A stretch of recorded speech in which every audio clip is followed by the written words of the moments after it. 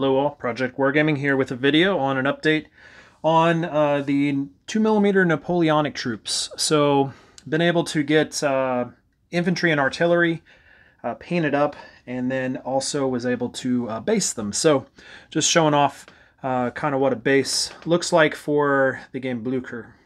Uh, so, um, seems like most of the French uh, brigades were made up of two regiments, and so you can see I have regiments set out. A lot of times I had three or four battalions each, um, so little four battalions was going to be a little tight, so I went ahead and just put uh, uh, three on one side and two on the other.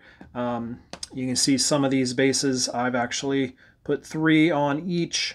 Um, and then, of course, um, what's really cool is we have magnetize this little back strip here and it allows us to put the info that we need on there and it doesn't fall off. And then we can keep track of Elan by just uh, placing beads on there. So um, these are somewhat based off of the cars that you get. Obviously the infantry look a little bit different. Uh, artillery are very similar to what you get in cards. Um, so six cannon across there. I actually didn't paint it up uh, enough caissons, so just have some caissons in the back. Um, and some of these actually have only five uh, cannon on there, artillery pieces. So, um, but I have I painted up way more uh, artillery pieces than I I realized, and so I have plenty. I have almost 11 bases of artillery compared to like only six uh, or so. Uh, well, I have more of that. I have probably 10 bases of infantry so far. So way more uh, infantry need to be painted up.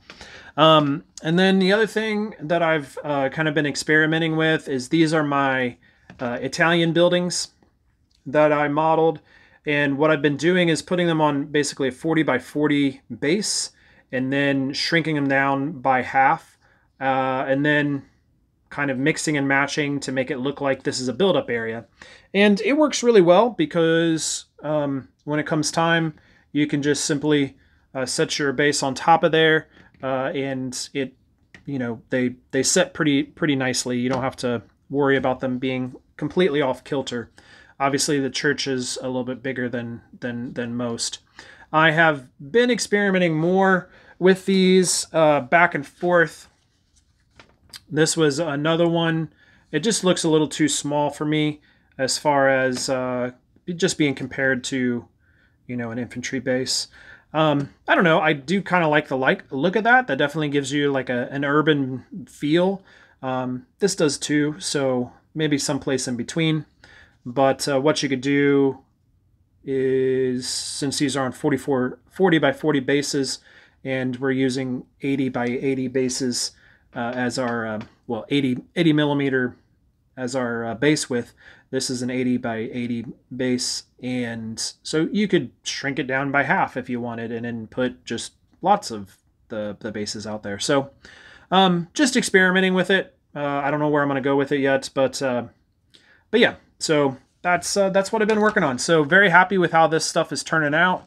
Uh, I need to paint up Cavalry, which you know is the bane of my existence always. Cavalry just uh, drives me nuts to paint. Um, so I have to figure out a, a, fast way to do that. I think I need to just uh, base coat those guys all brown uh, because the majority of the model is the um, uh, horse and then paint uh, cavalry up from there. And of course, you all know that Napoleonic cavalry is like every color of the rainbow. So um, for every single nation, it seems like. So um, tons of possibilities there. But, but that's it. We'll talk to you later.